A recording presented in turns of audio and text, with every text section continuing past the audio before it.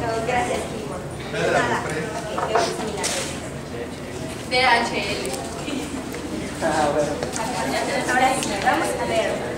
Oh, veo muchos glóbulos rojos ah, y están deshechos. No sé, es un misterio. Eh, tendremos que ir a una granja para estudiar este caso. ¿Qué te parece? Excelente.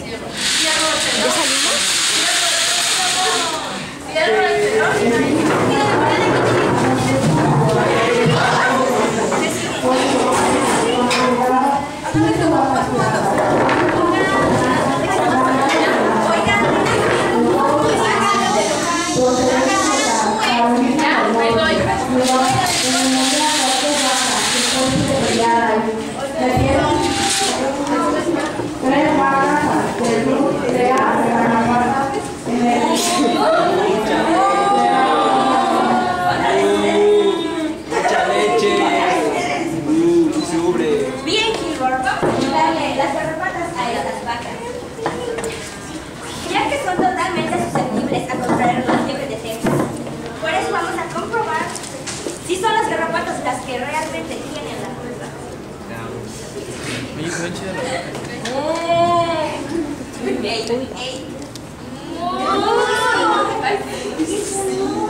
Ay, Eso no, ya no. ay, sí se vacila.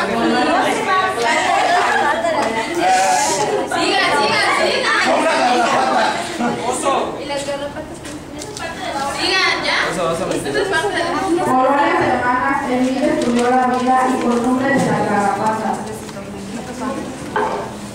Visitaba a diario su laboratorio al aire libre. Reconocía el cercado número uno para ver el ganado del norte había sido invadido por las garrapatas. Si tenía fiebre, la cabeza colgante, o si estaban tiradas.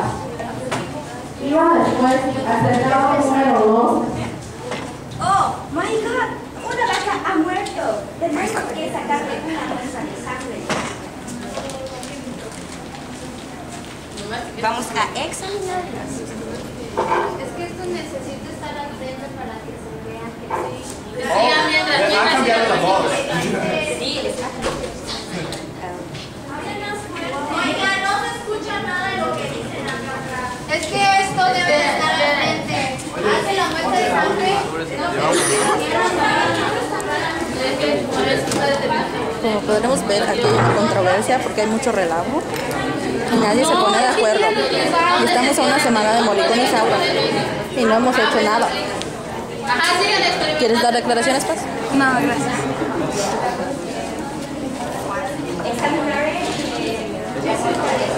Paz me tomó mi silla. ¿Tiene tu nombre? ¿Tiene tu nombre? Sí. Ah. Los glóbulos rojos. Siguen estando reventados. No me explico por qué. No encuentro ningún glóbulo.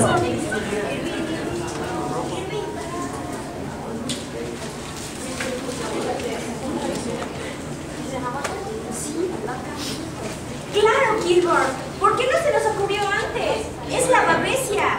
¿Recuerdas? Hace unos años se publicó. La babesia es un parásito que, la garrapata lo transmite, ¿recuerdas? Y la babesiosis es la fiebre de Texas.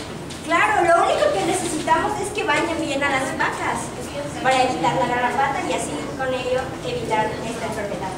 Amén.